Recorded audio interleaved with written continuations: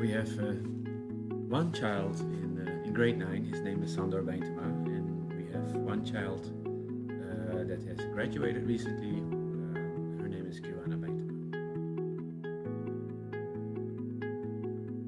BAIS was the, the only school that you know uh, replied to us in the sense that we thought this is just a good school for our children.